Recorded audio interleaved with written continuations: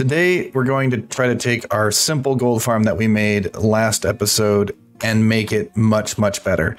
But to do that, we're going to need some turtle eggs and we're going to need some tridents. So let's see if we can get those put together so that way we can really start moving forward.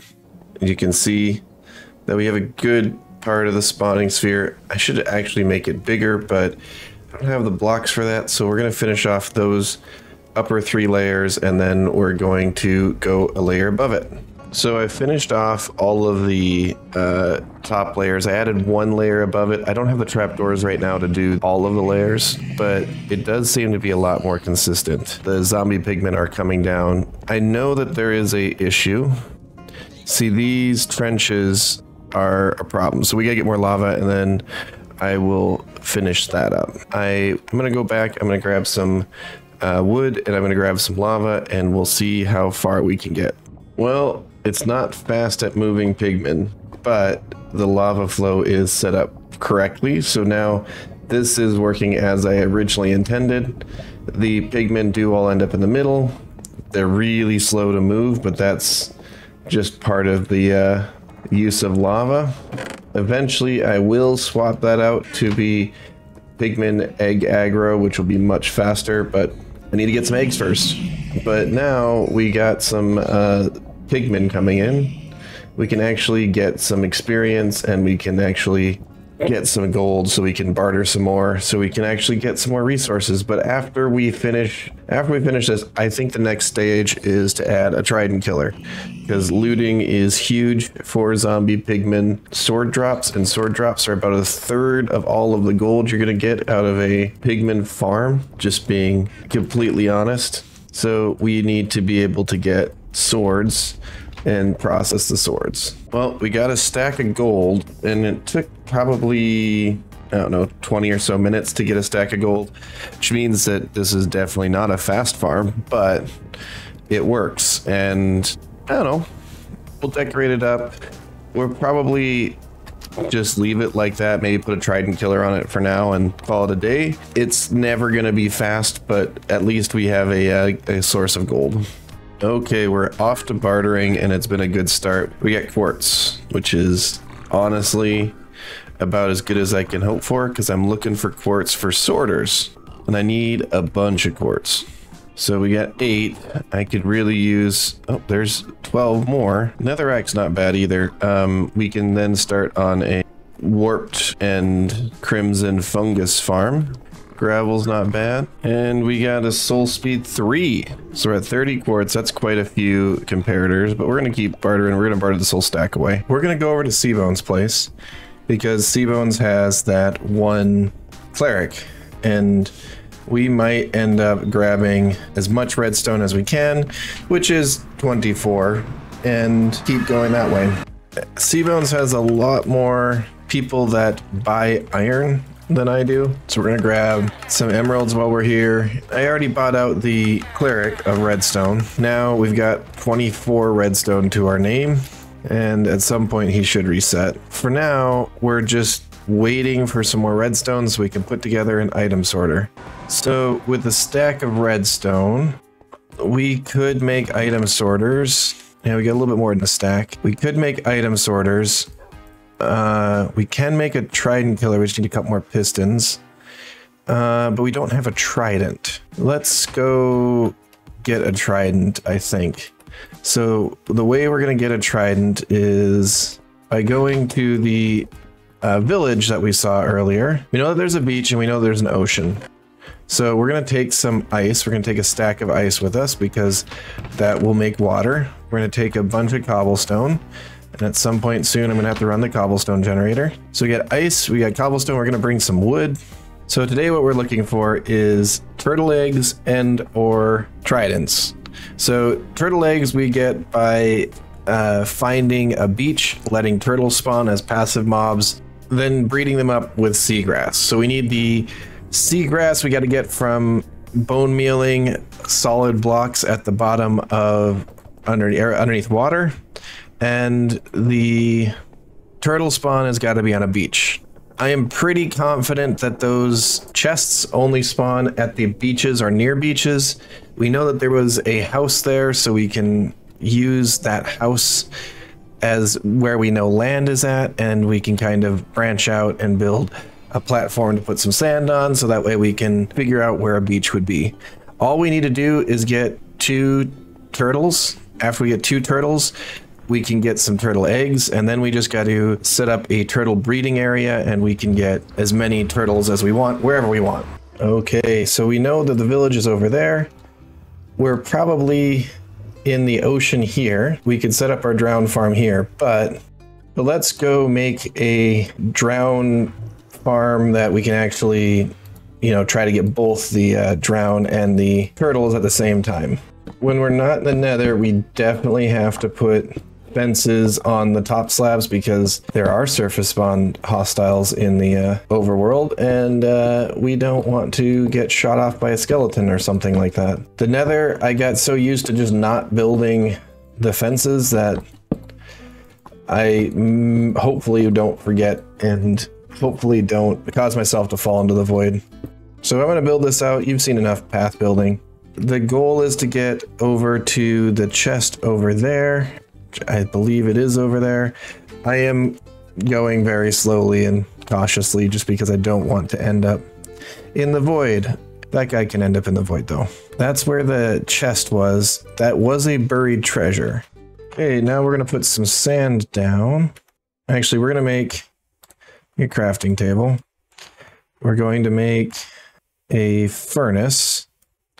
We're to burn a log, two of them just burn it with these doors. We'll start putting the sand down. Goal here is to just get coverage in area. I don't have a ton of sand, so the way that we're going to do that is by placing them one block apart on a grid, and we're going to look for if a turtle spawns, where does it spawn? And the reason that we burned those logs is clearly so we can get some torches. And we're going to place the torch here. And then we'll build out. I'm pretty confident that the beach is in the area we've already covered, but we'll see. Wherever we can get turtles to spawn, that's where we're going to focus. We're going to light this up so that way there's a higher chance that turtles can spawn and also so that no monsters spawn. Now we've got to go 24 blocks away. Now we're 24 blocks away. I've got some more slabs and I got a crafting table on me. So what we're going to do is we're going to start building our drown farm. And the reason that we're building the drown farm here is if we see a turtle spawn from here, we can walk back over there. We can start farming the turtles and then we can also wait for drown to spawn here.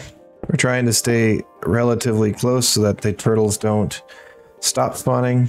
If they were to spawn, and we'll put a torch down so that way if we do decide to get excited and run away, we don't end up with a platform full of skeletons. Oh, there is a turtle that spawned. He fell off his sand, but I think he spawned there. Let's get this area drowned spawn possible, and then we can focus on the turtles. Okay, before we put the water in, we're gonna do this, which is going to be a three by three platform that we can stand on and not get knocked off by the drown. Well, this is going to be how we flood the pool here. We just place some ice down and then break, break. Now we got to do the top layer. So now we've got a drowned pool.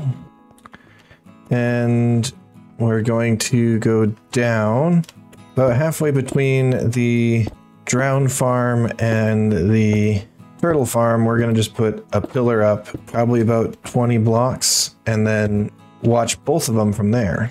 Now we got to make the platform a little bit safer down here. Okay, we got a couple of turtle eggs. Um, I don't know if I was recording during that time, but if I wasn't, we were able to confirm that that was a beach we weren't able to get any drown to spawn, so I'm thinking that that may not have been an ocean there, just maybe have been a beach. Like they sometimes have micro pockets of beach.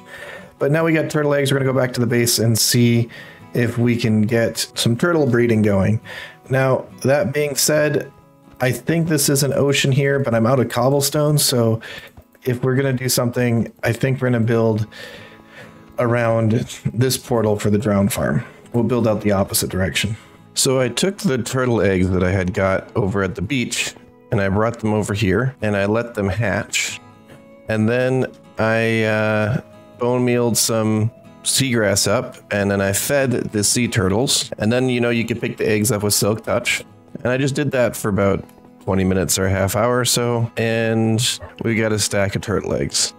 So now what we really need is a trident. We're gonna go back to the village over there.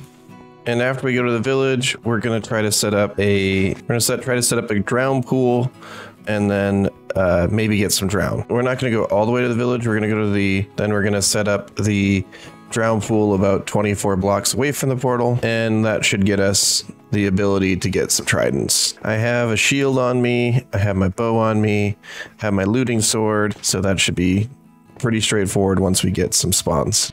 So that is definitely an ocean um, that way. So we're just gonna break in here and go out that way. Okay, now we're gonna go over here and wait because we got a few minutes of night left. See if anything spawns. As soon as the sun comes up, we'll go build our safe spot. And then we'll see if there's anything in there. That counts as sun's up. Yes, there are drown. Nobody's got trident though. So we're going to build out. All right, so now I'm not going to bother to hop in there. Just going to shoot them.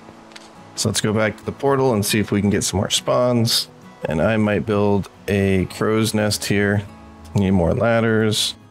I can shoot things and hope that I get a drown, but it's not going to happen until nighttime.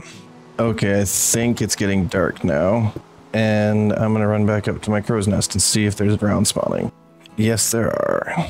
I don't see any tridents, but let's go. Let's go kill these guys with looting because eventually I would like to get a spyglass, and that means copper.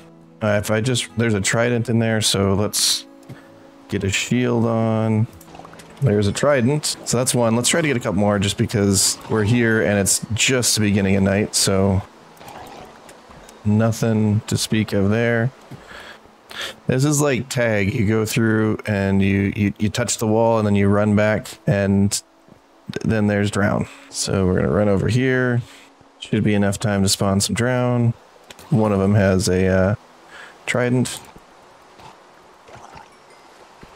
Oh, there's another drown with a trident. see if we can get that one. Okay, go back to our watchtower. There's a couple of drown. So far, we've gotten two tridents and four, four copper, which is pretty good. Well, now that we have the tridents and the turtle eggs, next time we can start making that farm actually AFKable. Because right now with the hack and slash, it's enough for a couple pieces of quartz or a couple of things here and there, but you can't AFK it. If I can't AFK it, it's not going to produce much material. If it doesn't produce much material, then we really can't move forward very fast. So let's see you next time. And if you enjoyed this video, let's um let's talk about the tuning forks in the comments and let me know what uh, that you made it all the way to the end of the video. Anyway, this is Hatter and I'm out. Bye.